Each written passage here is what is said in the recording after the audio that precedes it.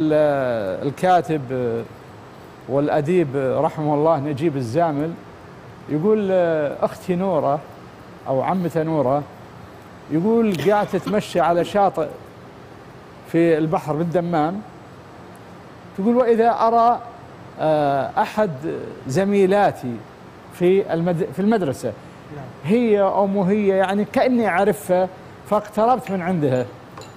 أهلا وسهلا أنت فلانه حياك الله أنا من زمان ما شايفه. ورحبت فيني وقعدت عندي وسولفت معاي. قالت ما شاء الله شوفك قاعدة لحالك. قالت لا والله أنا ما قاعد ماني قاعدة لحالي. قالت أنا أشوف هذا ال- الأخ كبير في السن ومعطي وجهه للبحر و آه، يعني لا يكلم أحد ولا يلتفت لأحد. قالت هذا زوجي. آه، جت حائلة الزهايمر مبكر.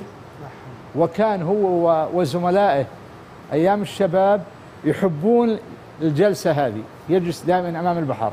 وأنا كل يوم أجيبه. من بعد العصر وأجلس هنا إلى صلاة العشاء.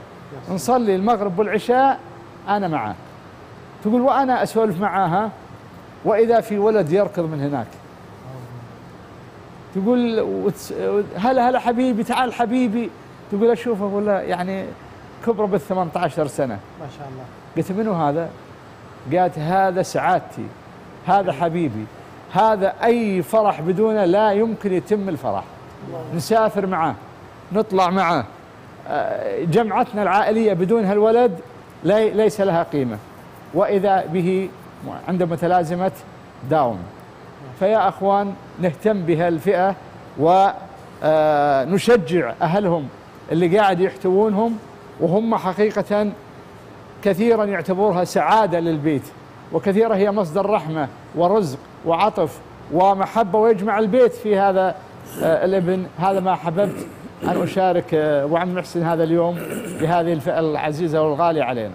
الله يجزاك خير يا أبو آمين. محمد يرفع قدرك يا ربي يا الله آمين. ولا لا ننسى أيضا يعني نذكرهم بأن يحتسبوا الأجر نعم. في متابعتهم للابناء